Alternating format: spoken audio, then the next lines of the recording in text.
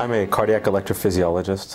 What that means is I'm sort of like an electrician of the heart. I deal with uh, abnormalities of the heart that may cause the heart's electrical system to either cause the heart to go too slow or to go too fast. And as part of that specialty, I implant things like pacemakers, defibrillators. I manage them after implantation. I also deal with uh, fast heart issues such as supraventricular tachycardia or atrial fibrillation or ventricular tachycardia. And as part of that, my specialty involves evaluating that, treating people with either medicine or sometimes uh, performing procedures in the heart called catheter ablation, which is sort of uh, destroying some of the abnormal tissue that causes these problems with heat or cold energy.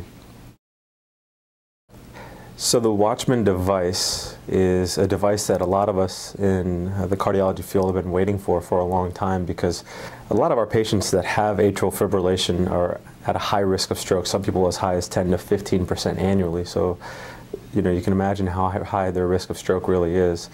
The way we normally bring the risk of stroke down is by starting people on what's called anticoagulation, which are what we commonly call blood thinners. Some of these include warfarin, Pradaxa, Xarelto, Eliquis, Savaysa. The problem is a lot of people can't tolerate these new blood thinners or warfarin um, because of their risk of bleeding. Uh, maybe they're bruising or falling, and as a result, it would be much more dangerous to keep them on uh, the blood thinners. And if we can't put them on the blood thinners, now we're allowing them to have this high risk of stroke. So what the Watchman device is intended to do is to sort of bridge that gap for those people. And what the device is, it looks like a little umbrella. Uh, it's implanted into the heart through a little um, access through the vein in the groin. What it does is it gets implanted into the left atrial appendage. We think that about 90% of stroke related to atrial fibrillation originates in that little pouch. And what the device does is sits inside the pouch, the body sort of covers that area of the heart.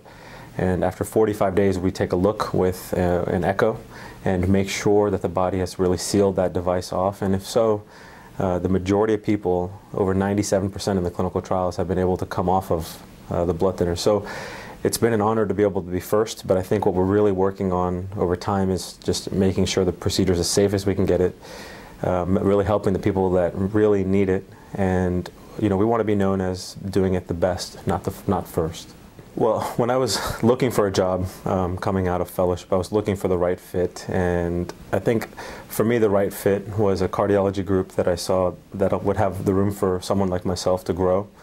Um, and wanted to be with people that I could feel uh, were very trustworthy, We're taking great care of patients.